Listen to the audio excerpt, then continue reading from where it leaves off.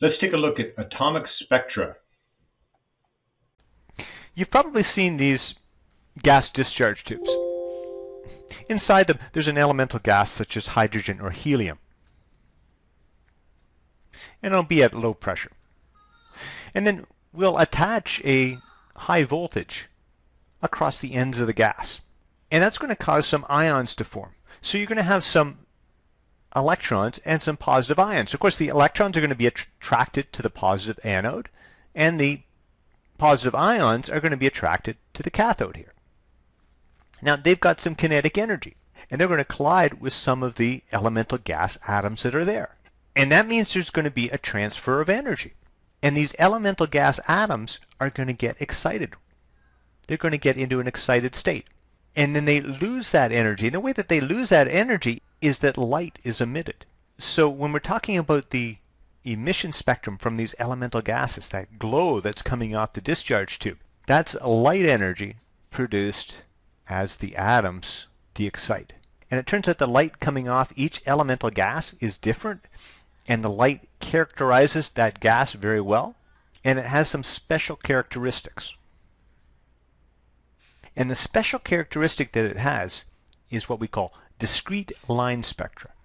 If our discharge tube contains hydrogen, and you pass the light coming out of the discharge tube through a prism or through a diffraction grating so that the different wavelengths of light will separate, you'll get what's called a line spectra. And you'll notice here, the light coming out of the hydrogen discharge tube has four distinct lines. So there's four distinct wavelengths of light that are coming out of the hydrogen. And we don't get any wavelengths in between this third wavelength and this fourth wavelength, etc.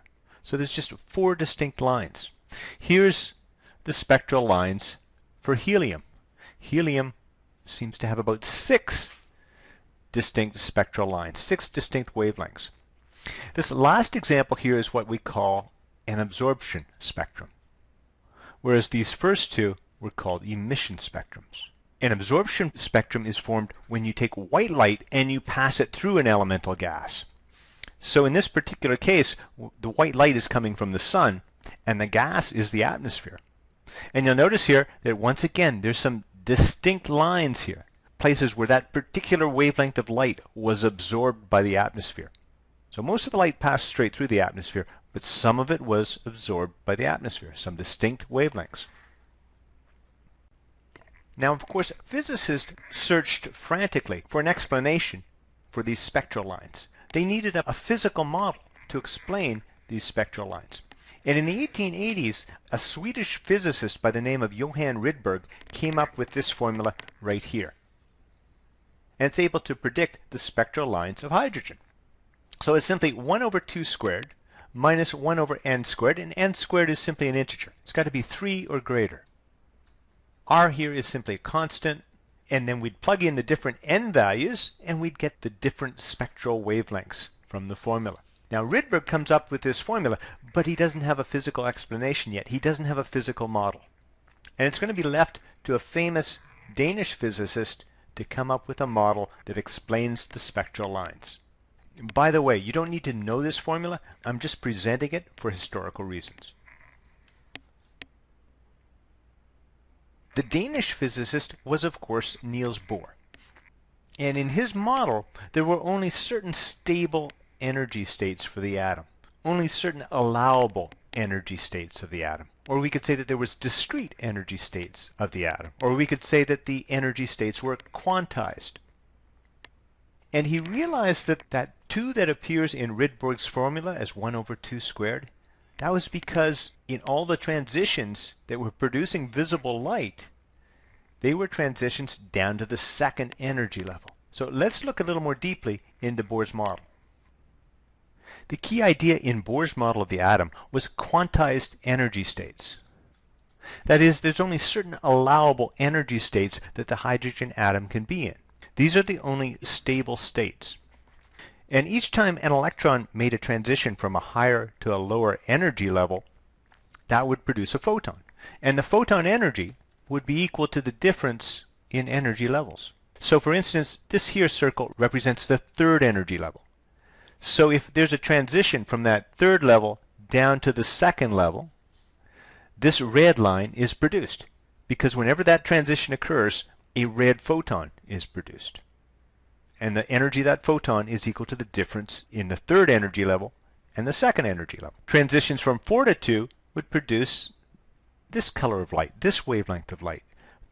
And 5 to 2 would produce this color, this wavelength of light, etc. Now it was only drops down to n equals 2 that produced visible light. And that's why there was a 2 in Rydberg's formula. However, as methods became available to detect ultraviolet light and infrared light, what was called the Lyman series was produced. The Lyman series was ultraviolet lights.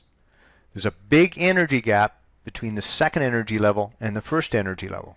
It's not depicted on this diagram, but there's a big energy gap there. And so whenever a drop is made down to the first energy level, more energetic photons are produced. And those photons will be in the ultraviolet region. And then transitions down to down to the level n equals 3 resulted in infrared light. This was called the Paschen series. So from n equals 1 to n equals 2, there's a big energy gap. But the energy gap is smaller when you go from n equals 2 to n equals 3. And then it's smaller again when you go to n equals 4, etc. So any drops down to n equals 1, there's always going to be a big energy difference, and that's going to produce a very energetic photon, which will be in the ultraviolet region. In fact, the energy levels in hydrogen go as this formula here. There's a negative sign because the electrons are trapped by the proton. That means they have negative energy. It would take work in order to separate the electron and the proton. This 13.6 EVs, that would be the ground state. E1 would be negative 13.6 electron volts. That would also be the ionization energy. In other words, it would take 13.6 electron volts of energy in order to knock one of those ground state electrons out of the atom. And then the subsequent energy levels vary as 1 over n squared. So n equals 1 is negative 13.6 eV. n equals 2 will be negative 13.6 divided by 2, it's the second energy level, all squared, which will come out to negative 3.4 EVs. And in the next energy level up, the third energy level would be negative 13.6 divided by 3 squared, which comes out to about negative 1.5 EVs. So now we're going to be able to use this formula here, predict exactly what the wavelength is when a transition is made from n equals 4 to n equals 2, or for any of these different wavelengths here. Just using the idea that the photon energy, which would be h times f, or h times c over lambda, has to equal the difference between the two energy levels, which would be E initial minus E final. We can plug into that and work out the wavelength for a transition between any two energy levels in hydrogen. So let's see if we can work out the wavelength of light that would be produced from a transition from n equals 3 to n equals 2 in hydrogen. Pause the video now, and try the question, come back for the answer. So hopefully you started out by saying the photon energy has to equal the difference in the two energy levels. So our higher energy is 3 minus our lower energy level, which is 2. Let's work out what those values are. E3 is, is negative 13.6 EVs divided by 3 squared.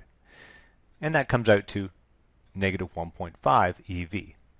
E2 would be equal to negative 13.6 EVs divided by 2 squared, and that should come out to negative 3.4 EVs. So our photon energy will be equal to negative 1.5 EVs minus negative 3.4 EVs. That comes out to a positive value of 1.9 electron volts. Now we have a formula for photon energy. Photon energy is equal to HF. Or because C is equal to F times lambda, that's just the universal wave equation, we can rewrite this as H times C divided by wavelength. Now we have to be a bit careful because this expression is generally given in joules. Unless of course we decide to write H in terms of eV seconds instead of joule seconds. This expression here is in electron volts. So what we're going to do is convert 1.9 electron volts into joules. And that means we're going to get that H times C, all of our wavelength, is going to be equal to 1.9 EVs times 1.6 times 10 to the minus 19 joules per EV. And the EVs will cancel out and we'll be left with joules on both sides of the equation.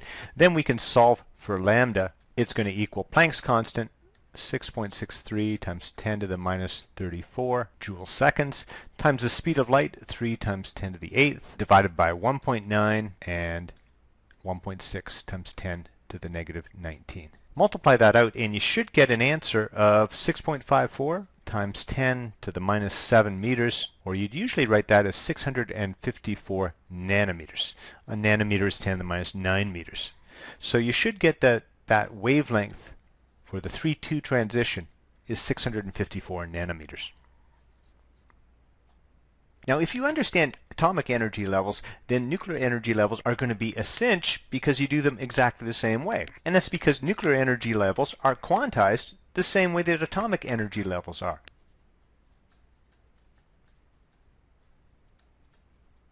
So in the same way that an atom can get excited, a nucleus can get excited. But there's only discrete energy levels where it will get excited too. And it's going to work exactly the same way we'll say that the energy of the photon that's emitted, this time it's going to be a gamma ray photon because it's going to be a more energetic photon. Photon energy is once again going to equal the difference in the energy levels. It's going to be that excited energy level state, the initial state,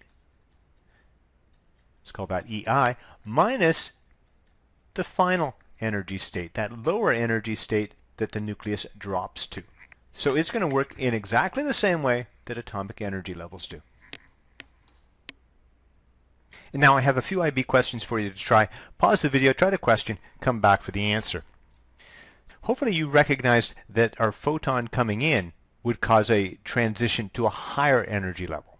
Whereas when there's a transition to a lower energy level, that's when a photon would be emitted. In this case, we're taking our photons and passing them through a low pressure vapor. And that means we're talking about absorption here. And that means the electron is going to go to a higher energy level. And that means the correct answer here is B. Another IB question, pause the video, read it over, try it out for yourself, come back for the answer. So hopefully you said the correct answer is A. And what you've got to remember here is that the photon energy varies inversely as the wavelength. So if we've got a long wavelength, that's a low energy photon. That means a small energy difference.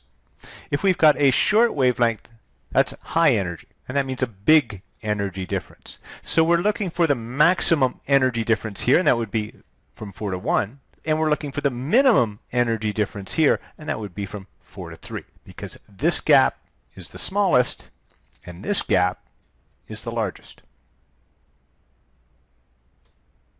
Another IB question, pause the video, read it over, come back for the answer.